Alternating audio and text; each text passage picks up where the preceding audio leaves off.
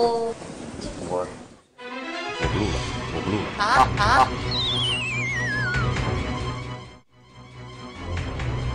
作为旁观者哈，你公正的评判一下，你说燕丹成刚才的表现怎么样？我公正的评判一下，我认为非常好。我倒觉得评委说的是挺对的，就是说你是用切骨刀，但是没有骨头你怎么办？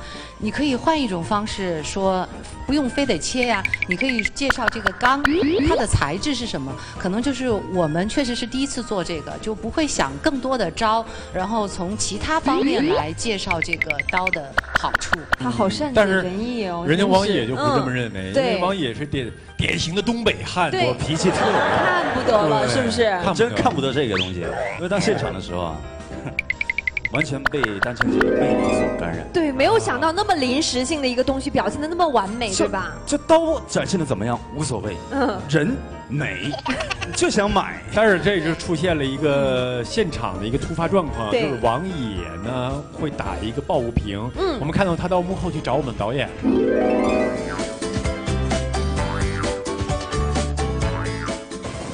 我我不录了。什么情况？什么情况？什么情况？没事没事没事，不是刚才你说的挺好的，不是那过不去。过不去是很正常的，你第一次做嘛，对不对？不是不是，关键问题不在你，你说刚刚刚才说那个刀的问题。呃，对对对对对。道具不准备好吗？那怎么办呢？那一会儿我们演示的时候也是啊，也是道具没有啊。我们又不是专业的，他把我们按专业的要求来啊。呃，那你如果全专业的，他肯定也会找到各种各样这样的。不是刚才也说这这节目嘛，那用不着那么严吧？哦，导演，玉茹姐，那那我们先